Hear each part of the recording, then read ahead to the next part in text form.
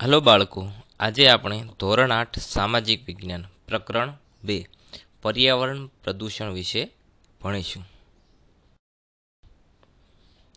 મિત્રો, અહીં આપણે જે ચિત્ર જોઈ રહ્યા છીએ, એ ચિત્રમાં બાળકો સ્કૂલે જઈ રહ્યા છે, ત્યારે રૂમાલ કેમ બાંધ્યો હશે?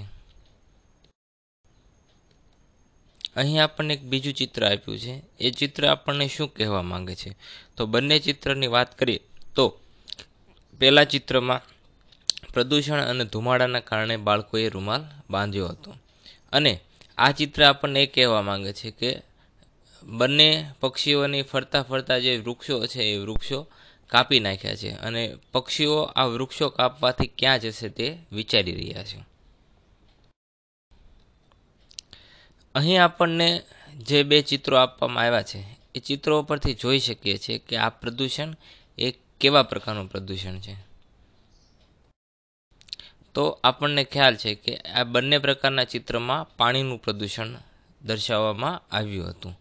ઉદ્યોગોને પાણી જોઈએ, માલ બનાવવાની પ્રક્રિયામાં અને અન્ય હેતુ માટે આ પાણી અસ્વચ્છ થઈ જાય છે. ઉદ્યોગોમાં આપણને ખબર છે કે અલગ અલગ રીતે પાણીનો વપરાશ થતો હોય છે અને આ પાણી તેમાં વપરાયા બાદ અસ્વચ્છ અથવા તો પ્રદૂષિત થઈ જતું હોય છે. એટલે તેને નકામું ગણી નદી નાળા કે ખુલ્લી જમીન પર છોડી દેવામાં આવે છે. ઉદ્યોગોને કારણે છોડાયેલું પાણી નદીના જળ પ્રવાહને પ્રદૂષિત કરે છે. માછલીઓ મરી જવાના કિસ્સા આપણે ઘણા જોયા છે. તો આ પ્રદૂષણ પાણી નદીઓમાં અથવા તો સમુદ્રમાં છોડવામાં આવે અને એના કારણે ઘણી બધી માછલીઓ મૃત્યુ પામતી હોય છે. આ કેમિકલયુક્ત ગંદુ પાણી નદીના પાણીને પ્રદૂષિત કરે છે. જળ પ્રદૂષણથી કોલેરા, કમળો અને ઝાડા ઉલટી જેવા રોગો ફેલાય છે. આજે આપણે ત્યાં મુસાફરીમાં ઓફિસ કે શાળામાં જતા બાળકોને પાણીની બોટલ રાખવી પડે છે. આપણી ઘણી નદીઓ ગટર સમાન બની ગઈ છે. નદીઓના ગંદા પાણી ખેતીકામ માટે વપરાય છે. આપણું જીવન ટકાવી રાખવા ત્રણ મુખ્ય જરૂરિયાત. કઈ છે બાળકો? તો આપણને ખ્યાલ છે કે હવા, પાણી અને ખોરાક. આપણે હવામાંથી કયો વાયુઓ શરીરમાં સૌથી વધારે લઈએ છીએ? તો આપણે શરીરને ટકાવી રાખવા માટે ઓક્સિજન વાયુની જરૂર પડે છે. હવામાં ક્યાં ક્યાં વાયુઓ હોય છે? તો આપણને ખબર છે કે અલગ અલગ પ્રકારના ઘણા બધા વાયુઓ હવામાં રહેલા હોય છે જે અગાઉ આપણે ભણી ચૂક્યા છીએ. શું તમને હવા શુદ્ધ સ્વરૂપે મળી રહી છે? આપણે અગાઉના ચિત્રમાં જોયું હતું, બાળકો રૂમાલ બાંધીને સ્કૂલે જઈ રહ્યા હતા. તો આપણને ખ્યાલ છે કે શુદ્ધ હવા આપણને મળી રહી નથી. અહીં આપણને બે ચિત્ર અલગ અલગ આપવામાં આવ્યા છે અને આ બંને ચિત્ર હવાનું પ્રદૂષણ સૂચવે છે. જેમાં પહેલા ચિત્રમાં કંપનીઓમાં અથવા તો જુદી જુદી ફેક્ટરીઓમાંથી નીકળતો હવાનું પ્રદૂષણ જે ધુમાડો છે એ દર્શાવવામાં આવી રહ્યો છે અને એક બાજુ વાહનોનું પ્રદૂષણ દર્શાવવામાં આવી રહ્યું છે. અહીં આપણને હવામાં વિમાનનું પ્રદૂષણ બતાવવામાં આવ્યું છે.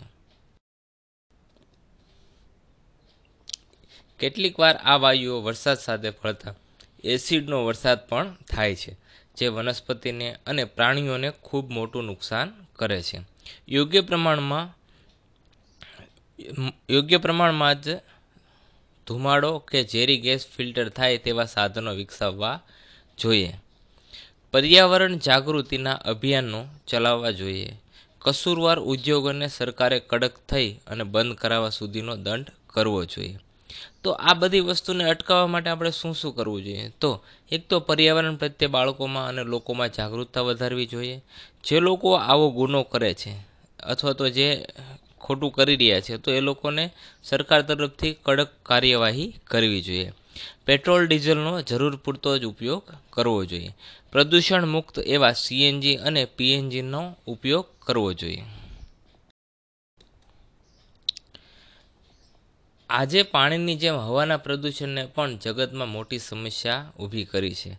દરેક શહેરો અને કેટલાક ગ્રામ્ય વિસ્તારોમાં ચોક્કસ પ્રકારના ઉદ્યોગો વિકાસ પામ્યા છે. ઉદ્યોગોમાંથી છોડવામાં આવતો ગેસ, ધુમાડો, હવામાં ભળતા હવાથી પ્રદૂષણ થાય છે. વૃક્ષો ઓછો થવાની, વૃક્ષોનું પ્રમાણ ઓછું થવાથી ઝેરી વાયુ કાર્બનનું પ્રમાણ વધવા લાગે છે. જેને લીધે ગ્લોબલ વોર્મિંગ જેવી મોટી સમસ્યા ઊભી થઈ છે. હવાના પ્રદૂષણથી ફેફસાની બીમારી, દમ, હાંફણ જેવા રોગો થાય છે. અહીં આપણને એક ચિત્ર આપ્યું છે. અને આ ચિત્ર ઉપરથી આપણે કહેવાનું છે કે આ કેવા પ્રકારનું પ્રદૂષણ છે. તો આપણને ખ્યાલ આવે છે કે આ જમીનનું પ્રદૂષણ છે, કારણ કે જમીન ઉપર અલગ અલગ પ્રદૂષણ દર્શાવવામાં આવ્યું છે. તો ભૂમિ પ્રદૂષણ એટલે શું? તો ભૂમિનું પ્રદૂષણ સહેલાઈથી નજરે પડે તેમ નથી. આજે વિકસતા વિશ્વમાં ભૂમિનું પ્રદૂષણ ખૂબ મોટા પ્રમાણમાં વધ વધ્યું છે. વિકસેલા ઉદ્યોગો અને ગટરના પાણી ખુલ્લી જમીન પર છોડી દેવાતા તે જમીનને બગાડે છે. પ્લાસ્ટિક જમીનમાં ભળતું નથી અને જમીન બગાડે છે. શેરી, કચરો જેમાં ખોખા, પ્લાસ્ટિક, સ્કેપ અને રાસાયણિક પદાર્થો હોય છે. તો આવી રીતને અલગ અલગ પદાર્થો દ્વારા ભૂમિનું પ્રદૂષણ થતું હોય છે. ખેડૂતો દ્વારા વધુ ઉપજ માટે રાસાયણિક ખાતરોનો પણ ખૂબ બહોળા પ્રમાણમાં ઉપયોગ થઈ રહ્યો છે. જે જમીનને બગાડવામાં અને પર્યાવરણને નુકસાન કરવામાં મોટો ભાગ ભજવે છે. આપણે પ્લાસ્ટિક અને કેમિકલનો ઉપયોગ જરૂર પૂરતો જ કરવો જોઈએ. જંતુનાશક દવાઓ ઓછા પ્રમાણમાં ઉપયોગમાં લેવી જોઈએ. પરંપરાગત સ્ત્રોતોનો ઉપયોગ કરવો જોઈએ. અહીં આપણને ચિત્ર આપવામાં આવ્યું છે અને આ ચિત્ર ઉપરથી આપણે બાળકો વિચારવાનું છે કે આ કેવા પ્રકારનું પ્રદૂષણ હશે. તો આપણને જોઈ શકીએ છીએ કે વાહનો, ઇલેક્ટ્રોનિક ઉપકરણોના અવાજોની અહીં વાત કરવામાં આવી છે. તો આવા પ્રકારના પ્રદૂષણને અવાજનું પ્રદૂષણ કહે છે. અવાજ અથવા તો ધ્વનિ પ્રદૂષણ. તો આપણે અહીં અમુક ચિત્રોમાં જોઈ શકીએ છીએ કે ધ્વનિ પ્રદૂષણ એ કેવા કેવા પ્રકારે હોય છે? જેમ કે મોટા વાહનો, વિમાનોનો અવાજ લાઉડ સ્પીકરો તે બધા જ ધ્વનિ પ્રદૂષણના ઉદાહરણો છે. કારખાનામાં ચાલતા યંત્રો વાહનોના કારણે મોટો અવાજ થતા હોય છે, જે અવાજનું પ્રદૂષણ ઊભું કરે છે. આજે સમગ્ર વિશ્વમાં અનેક ઉત્સવો ઉજવાય છે, જેમાં મોટા લાઉડ સ્પીકર કે પછી બેન્ડ, વાજા, ઢોલ વગેરે વગાડવાથી ધ્વનિનું પ્રદૂષણ થાય છે. ચૂંટણી કે રમતોમાં વિજય થવાથી મોટા પ્રમાણમાં ફટાકડા ફોડી વાજિંત્રો વગાડવાથી ધ્વનિ પ્રદૂષણ થાય છે.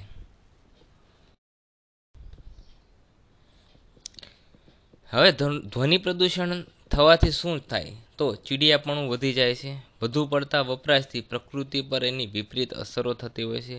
નાગરિક પોતે જ સમજે એ જ એનો ઉપાય છે. અને આ પ્રદૂષણ અટકાવવા માટે લોકો તરીકે આપણે જ આપણી જવાબદારી સમજવી જોઈએ અને આપણે એનો વિવેકપૂર્ણ ઉપયોગ કરવો જોઈએ. પીયુસીના નિયમો ખૂબ જ કડક બનાવવા જોઈએ. વસ્તી ગીચતા નિયંત્રણમાં રાખવી જોઈએ. વધુ પડતા ટ્રાફિકની સમસ્યા હોય ત્યાં વન વે બનાવવા જોઈએ તો આજના પાઠમાં આપણે અલગ અલગ ચાર પ્રકારના પ્રદૂષણો વિશે વાત કરી, જેમાં ભૂમિનું પ્રદૂષણ, ધ્વનિ પ્રદૂષણ, હવા પ્રદૂષણ અને પાણી પ્રદૂષણ.